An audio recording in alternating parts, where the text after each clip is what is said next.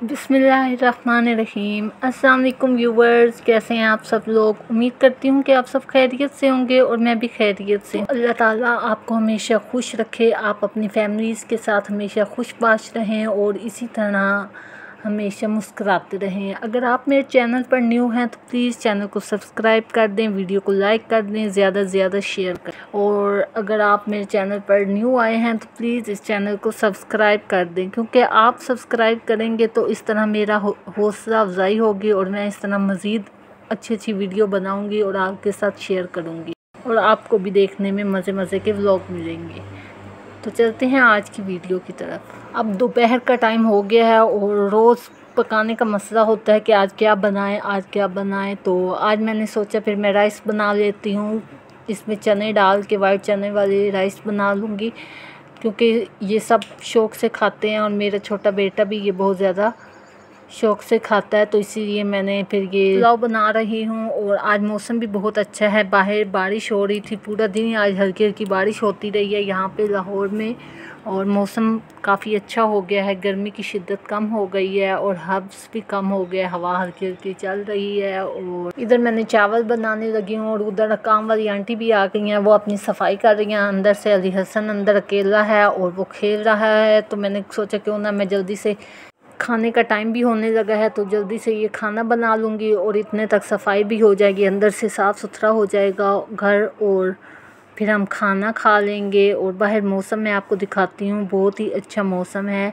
ये देखें बाहर बारिश हो रही है बहुत ही खूबसूरत मौसम है इतनी तेज़ बारिश हो रही थी। कल का वक्त है तो दोपहर को बहुत ज़्यादा बारिश हो रही थी तो हमने जल्दी से फिर खाना खाया और बाहर का मौसम इंजॉय किया। यहाँ पे हम बाहर बैठ गए थे और पंखा चला रही है क्योंकि पंखे से ठंडी हवा आ रही थी और फिर हम इधर ही बैठ गए। बच्चे भी यहाँ पे खेलते रहे, मैं देखें, आपको दिखाती हूँ यहाँ पे पीछे इतना अच्छा काले से आप बादल थे और बारिश भी हो रही थी और बहुत ही अच्छा मौसम था। यहाँ पर हम चिड़िया वगैरह और परिंदों के लिए रोटी वगैरह डाल देते हैं, दाना वगैरह डाल देते हैं तो वो ना एक चिड़िया थी, वो सुबह से यहाँ से ना उठा के लेकर जाती, फिर वापस आती, फिर लेकर जाती, सारा दिन वो इसी तरह ना खाना लेकर जाती रही है। फिर वो जब थक गई तो अपने बच्चों को इधर ही ले आई थी और फिर इधर ही बिठा के उनको अच्छी तरह खिला रही थी। और उसके बाद फिर यहाँ से चले गए तीनों। ये देखें, अच्छी तरह उनको खिला रही है बच्चों को अपने और फिर उनको लेकर चली गई। और मैंने आप लोगों से एक बात शेयर करनी थी कि अगर आप लोगों के भी इसी तरह कोई घर के बाहर एक बर्तन में कोई चीज़ रख दिया करें, दाना वगैरह, परिंदों के लिए या पानी वगैरह तो इससे बहुत ज़्यादा स्वाब मिलता है और परिंदे भी इतनी गर्मी होती है, बेचारे वहाँ से उठा के खा लेते हैं तो हम लोगों को स्वाब मिलता है, आप इस तरह अपने घर के बाहर या छतों पर पानी वगैरह या कोई चीज़ रख दिया करें, ताकि परिंदे आसानी से वहाँ आकर कुछ खा लें। ये देखें। अब ये इन्होंने खाना खा लिया, अब ये चले गए अब और चिड़िया वगैरह आ गई हैं। इसी तरह सारा दिन यहाँ पे कोई ना कोई परिंदे आते रहते हैं और वो खाते रहते हैं। तो ये बहुत ही अच्छी चीज़ है, हम मुझे ये चीज़ बहुत अच्छी लगती है। अगर आपको भी अच्छी लगे तो प्लीज़ तो अब शाम का टाइम होने लगा था तो मैं किचन में आ गई क्योंकि मौसम अच्छा था तो मैंने सोचा कि उन्हें समोसे और इस तरह फ्रूट चाट और दही बल्ले बना के शाम की चाय के साथ हम लोग खा लें। तो मैंने ये सबसे पहले समोसों के, ये फिलिंग तैयार की और क्योंकि ऐसे मौसम में इस तरह चटपटी चीज़ें खाने का बहुत ही मज़ा आता है और आप लोग बताएँ, आप लोग भी इंजॉय करते हैं। ज़्यादातर लोग पकोड़े बनाते हैं, लेकिन मुझे पकोड़े पसंद नहीं है तो इसलिए मैं समोसे छोटे छोटे बना लेती हूँ। वो मेरा बेटा भी शौक़ से खाता है और मैं भी शौक़ से खाती हूँ तो फिर इस तरह हमने ये चीज़ें बना ली और तो मैंने ये फिलिंग हमारे घर पट्टी पड़ी हुई थी तो मैंने जल्दी से फिलिंग रेडी की और उसके बाद समोसियाँ छोटी छोटी बना ली।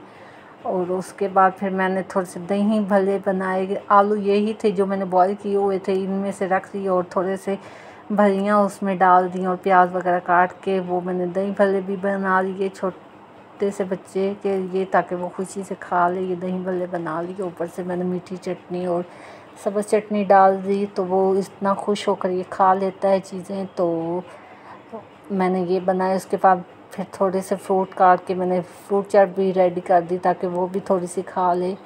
इस तरह बच्चे खुश हो जाते हैं, कोई ना कोई चीज़ अच्छी सी बना कर उनको दें और वो इंजॉय भी करते हैं मौसम का ताकि उनको पता लगे कि ऐसे मौसम में इस तरह चटपटी चीज़ें खाने से कितना मज़ा आता है। क्योंकि मुझे भी शौक़ है इस तरह की चीज़ें खाने का तो फिर मैं उसके लिए भी बनाती हूँ ताकि उसे भी उससे भी अच्छा लगे क्योंकि अब शाम का टाइम हो गया और साथ मैंने चाय भी बना ली थी और ये चीज़ें भी बना के तो मैं बाहर लेकर गई और फिर इस तरह हमने मिल के ये सब कुछ खाया और बहुत ज़्यादा मौसम इंजॉय किया। आप लोग भी कमेंट करके बताएँ कि आप किस तरह ये मौसम इंजॉय करते हैं। फिर मैं अंदर आकर देखा तो अली हसन अंदर था और वहाँ पर खेल रहा था। ये देखिए छोटा सा मेरा बेटा है, ये यहाँ पर खेल रहा था। तो फिर मैंने जल्दी से आकर ये फ्राई किए और तो आप सब लोग भी मुझे कमेंट करके बताएँ कि आप किस तरह ये मौसम इंजॉय करते हैं और इस तरह चटपटी चीज़ें या कुछ तल तरह की चीज़ें बनाकर खाते हैं। तो आपको कैसे लगा मेरा व्लॉग अगर आपको अच्छा लगे तो प्लीज़ मेरे चैनल को सब्सक्राइब करें वीडियो को लाइक करें। तो आज का व्लॉग यहीं पे एंड करते हैं। ओके अल्लाह हाफिज़